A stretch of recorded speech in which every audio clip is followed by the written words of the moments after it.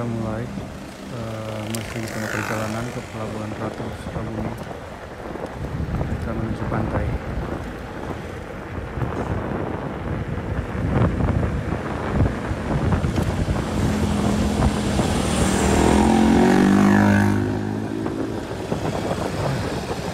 Ya di depan ada pengendara karena sekarang lagi musim bersepeda ya, semua orang pada bersepeda termasuk satu keluarga ini mantap